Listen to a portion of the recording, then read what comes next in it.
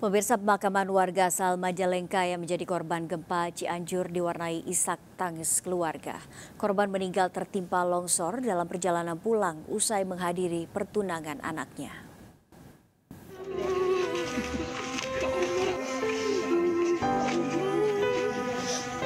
Isak tangis anak dan keluarga mengiringi pemakaman Asep Budi Hendra, salah satu korban meninggal akibat gempa di Cianjur, Jawa Barat. Asep yang merupakan warga asal desa Dawan, kecamatan Dawan, Majalengka tertimpa longsor saat melintas mengendarai sepeda motor di jalur Cipanas. Saat itu korban dalam perjalanan pulang kembali ke tempat kerjanya di Tangerang setelah menghadiri pertunangan anaknya.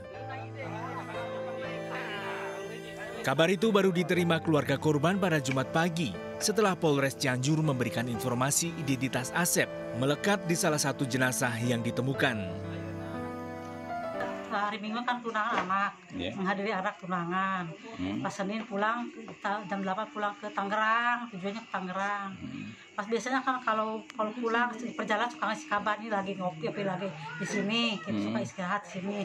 Pas tanggal jam 5 pas di kawan bah udah nyampe mana, nggak ada jawab di checklist, checklist satu. Hmm.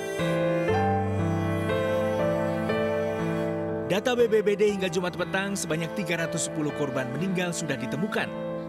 Sembilan korban di antaranya merupakan warga yang melintas di lokasi tanah longsor. Proses pencarian korban terus dilakukan karena masih ada 24 orang yang dilaporkan hilang. Dari Majalengka, Jawa Barat, Muhammad Zeni Johadi, iNews melaporkan.